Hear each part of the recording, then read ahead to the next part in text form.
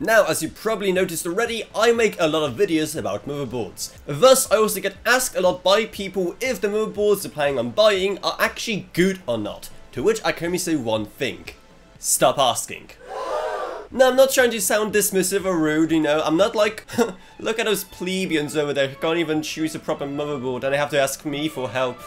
Typical. What I'm trying to say is that you probably already know how to pick out the best motherboard for you, and the process of doing so is actually much easier than you probably think. The question I get asked the most often is something along the lines of, is motherboard X good for CPU Y? So the first thing you have to do is take that question and throw it into the bin and then throw that bin into a black hole on the other side of the universe because that's how irrelevant it is. Because the thing is, as long as you don't go overboard, most motherboards will be absolutely fine for most CPUs. Granted, if you try to pair a 1300KS with literally the cheapest B660 motherboard you can buy right now, the performance might take a hit, but as long as the motherboard has good enough VRM cooling to support high-end CPUs, and most of them have, then you're gonna be absolutely fine. And just by the budget of your build, you'll probably be guided towards the ideal motherboard for your personal build people who are going to be buying a 1300KS are the people who are going to gravitate and look at more expensive motherboard models first. Now of course if you are on a tighter budget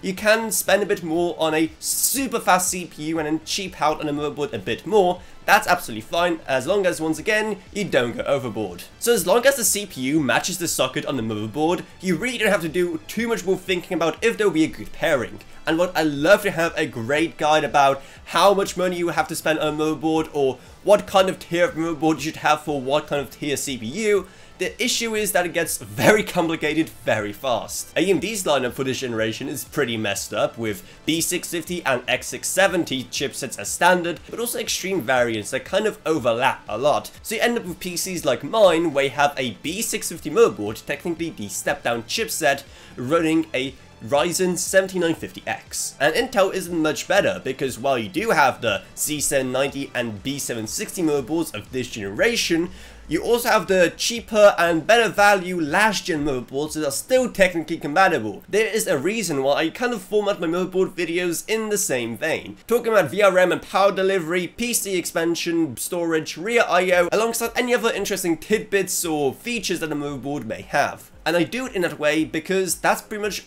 all that matters to you, the end consumer. See, I can't answer for you what motherboard will be the best for you.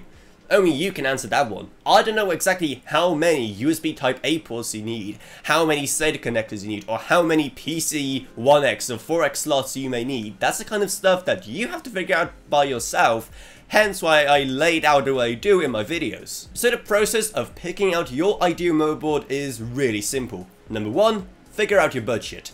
Number two, figure out what features you need, and third and most important step, Watch all my videos to find out exactly which motherboards fit those parameters exactly. And I've done a lot of them, so you probably find one that suits you. And if you're ready to shoot your shot and buy one, then our Amazon links to them are going to be down in the video description below. And while you're here, maybe check out Patreon as well, because even a single dollar a month truly goes a long way, while you get awesome perks as well. I'd also like to thank my existing patrons, Gavin Burns, Ryan Akibi, Justen Rage, Ela Wroniak, Balash Welcome, Max Sumner, Shane Allcroft, Lansby, Jesse Herbman, and Shannon Odgun. Down you can find our merch store, our Discord server, and our social media links as well. But anyway, that's what it's. I hope you enjoyed this video.